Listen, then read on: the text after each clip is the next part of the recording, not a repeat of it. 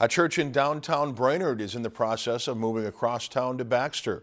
The First Presbyterian Church is exchanging businesses, or buildings I should say, with the Halverson Johnson Funeral Chapel on Excelsior Drive. The church is moving due to a decreasing number of attendees of their church and it can hold over 300 people. They worked out a deal with Halverson Johnson, who is in need of a bigger space to accommodate services for their patrons who are without a church home. First Presbyterian is looking forward to a, smaller space, but it will be a huge change for the church that has had a home in downtown Brainerd now for over 100 years. The church has been here a long time. It has a long history. And in this in this location downtown, uh, we have been uh, on a block uh, down here since about 1889.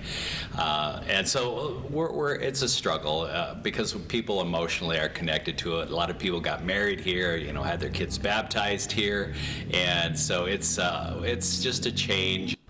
The church will have its last service at the current location on Sunday, November 4th, and it will hold its first service in their new location on Sunday, November 11th. If you enjoyed this segment of Lakeland News, please consider making a tax-deductible contribution to Lakeland PBS.